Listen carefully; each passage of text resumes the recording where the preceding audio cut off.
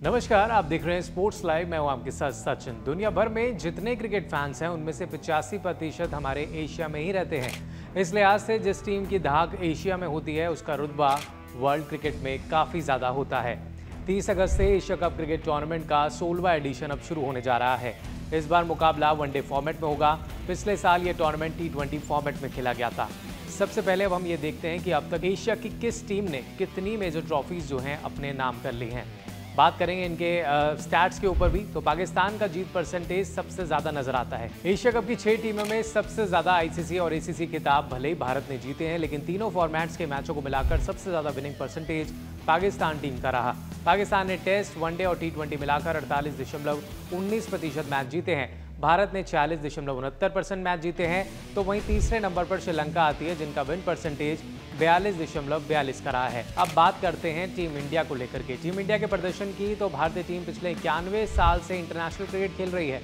Team ने पहला international मुकाबला 25 जून 1932 को इंग्लैंड में इंग्लैंड के खिलाफ खेला। भारत के ओवरऑल प्रदर्शन की बात करें तो टीम इंडिया ने कुल 1810 मैच खेले हैं, जिसमें से टीम ने 845 मैच जीते हैं और छह सौ इक्यासी मैचों में टीम को हार मिली है।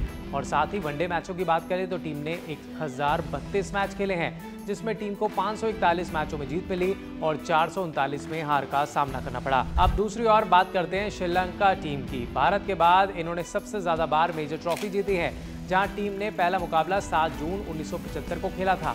तो वहीं ओवरऑल परफॉर्मेंस की बात की जाए तो श्रीलंका टीम ने कुल एक हज़ार तीन सौ छियासी मैच खेले हैं, जिसमें से टीम ने पाँच मैच जीते हैं और छह सौ छप्पन मैचों में टीम को हार मिली है।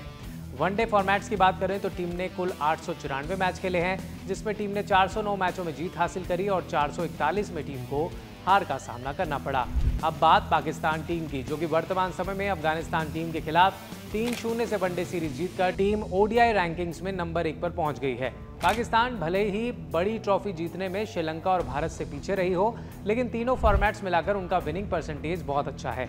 पाकिस्तान ने ओवरऑल कुल एक हज़ार छह सौ बत्तीस मैच खेले हैं, जिसमें टीम ने सात सौ अठासी मैच जीते हैं और 640 में टीम को हार मिली है।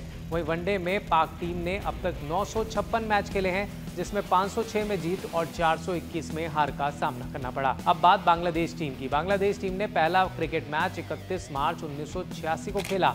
बांग्लादेश ने वनडे में 415 मैच खेले हैं, जिनमें टीम ने एक सौ बावन मैचों में जीत हासिल की है और दो सौ चौवन मैच में टीम को हार मिली है। बात करें अफ़गानिस्तान टीम की तो ओवरऑल अपने पचपन दशमलव शून्य एक प्रतिशत अफ़गानिस्तान ने मैच जीते हैं। हालाँकि टीम ने ज़्यादातर मुकाबले नॉन टेस्ट प्लेइंग कंट्रीज़ के खिलाफ खेले हैं। वनडे में अब तक टीम का प्रदर्शन बात करें तो 150 मैच खेले हैं, तिहत्तर मैचों में टीम को जीत मिली और बहत्तर में टीम को हार का सामना करना पड़ा। अब बात करें नेपाल की तो नेपाल पहली बार किसी बड़े टूर्नामेंट में अब खेलने जा रहा है। लिहाजा इस स्टोरी में नेपाल के आंकड़े शामिल नहीं किए जा रहे हैं। तो ये हैं छह बड़ी टीमें जो इस बार एशिया कप में आपको नज़र आएँगी। बड़ी टक्कर की बात करें तो भारत और पाकिस्तान का सामना दो तारीख को होना है, जिसका सभी फैंस बेसब्री से इंतज़ार कर रहे हैं। आप कमेंट बॉक्स में ज़रूर बताइएगा कि इस बार एशिया कप में आपको क्या लगता है, कौन सी टीम बाजी मारेगी और बेहतर परफॉर्मेंस करके तमाम क्रिकेट फैंस का दिल जीत लेगी। फ़िलहाल इस वीडियो में इतना ही। अगर आपको ये वीडियो पसंद आए तो लाइक शेयर ज़रूर कीजिएगा और कॉमेंट्स में अपनी राय ज़रूर दीजिएगा।